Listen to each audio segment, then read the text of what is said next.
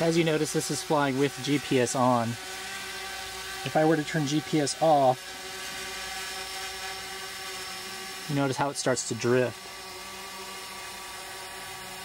You'd have to give inputs to hold its position, constantly giving input in the direction that you want it to go in.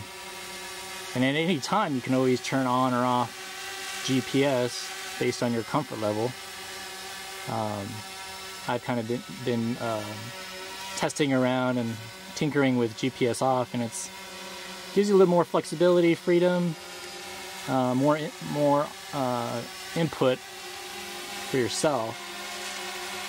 You just have to keep in mind that once you let go of the controls, it'll level out, but it'll continue to drift in the direction I guess the wind is taking it, or you know wherever it kind of settles in place, it'll just drift in that direction.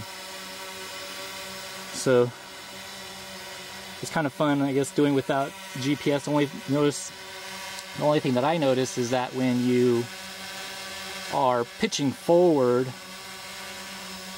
and trying to climb at the same time, the rate is a little slower. So you got to take that in consideration.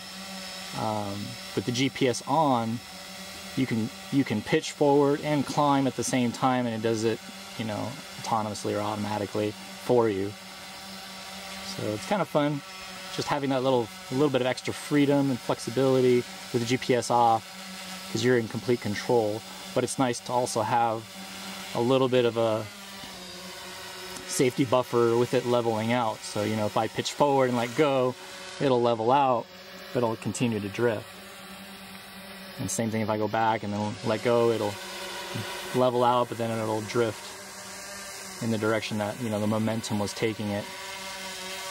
And then, like again, if you're drifting here, and the wind's gonna push it backwards, but as soon as it goes back, I'll initiate the GPS and you'll see how it'll kind of hold itself in the spot.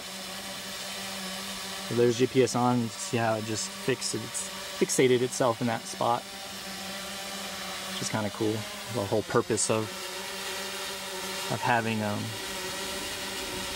GPS. It's kind of cool. Sorry if it's blurry a little bit. Can't manage focus and uh, operate the drone at the same time, but kind of get the point. So hope you enjoy some video with me flying with and without GPS. If you guys have any questions, leave some in the comment below. Like, subscribe. Thanks, guys.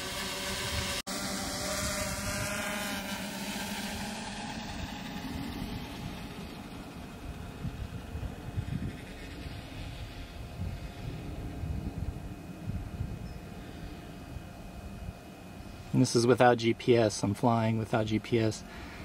It's top speed, I've noticed. About 45 miles an hour without GPS. Let's see here with the wind.